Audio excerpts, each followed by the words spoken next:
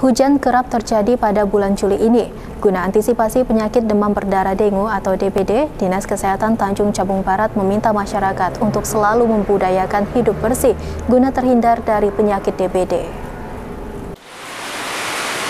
Antisipasi pencegahan maupun penanganan penyakit demam berdarah dengue atau DBD tetap dilakukan oleh pihak Dinas Kesehatan Tanjung Jabung Barat.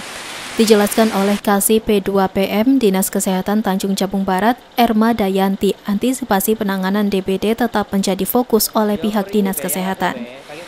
Hal ini mengingat pada musim hujan saat ini menjadi sasaran berkembang biaknya jentik nyamuk Aedes aegypti yang dapat menimbulkan penyakit demam berdarah dengue atau DBD bagi manusia.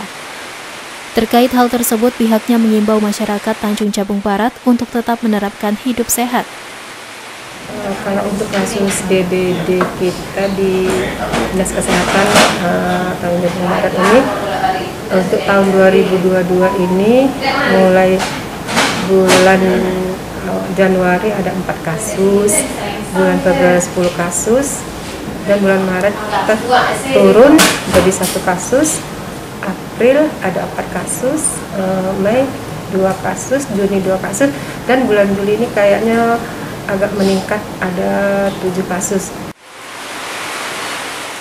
Lebih lanjut, Erma menambahkan, dari Januari hingga Juli ini terdapat kasus DBD sebanyak 30 kasus. Dari 30 kasus tersebut rata-rata baru suspek, jika dibandingkan pada tahun 2021 lalu di bulan yang sama, kasus DBD cenderung menurun. Selain itu, rata-rata kasus DBD terjadi di Kecamatan Tungkal Ilir atau Kota Kuala Tungkal.